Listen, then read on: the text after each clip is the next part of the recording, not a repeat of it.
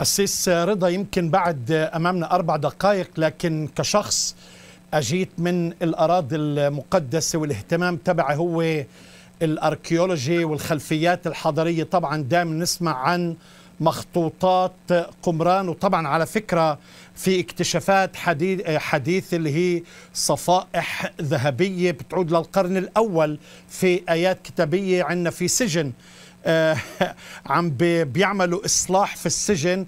اكتشفوا آيات على فسيفس في الأرضية نفسها.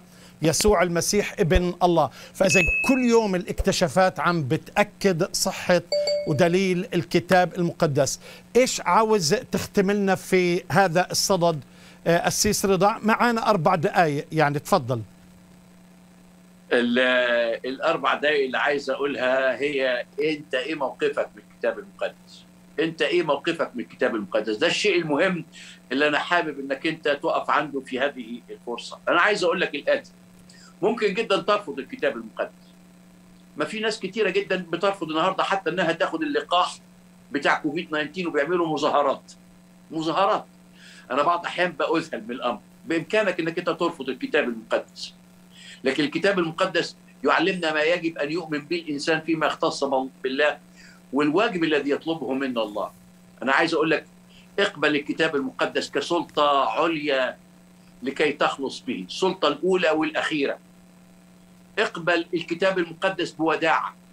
بدل أن تضع فحصك تحت الكتاب المقدس تحت فحصك وأنت المحدود تعال باتضاع أمام الله. اقبلوا بوداع الكلمة المغروسة. القادره أن تخلص إيمانكم أن تخلص نفوسكم. في تربة صخرية في تربه الطريق لكن النهارده أنا عايز أقول لك الرب بيقرأ على باب قلبك والرسول بولس بيقول لست أستحي بكلمة الله لست أستحي بإنجيل المسيح لأنه قوة كلمة. الله للخلاص. اسمعني من فضلك في آخر لحظات. كلمة قوة دوناميس اللي جت منها كلمة دينامو. الكتاب المقدس متحرك. الكتاب المقدس ليس ساكن. الكتاب المقدس هو قوة الله للخلاص. عشان كده يقول بطرس مولودين ثانية لا من زرع يفنى بل مما لا يفنى بكلمة الله الحية الباقية القادرة أن تخلص نفوسكم. الكتاب المقدس ليس كتابا قديما عف عليه الزمن لكنه كائن حي كلمة الله حية وفعالة وأمضى من كل سيف ذي حدين وخارقة إلى مفرق النفس والمفاصل والمخاخ ومميزة أفكار القلب ونياته.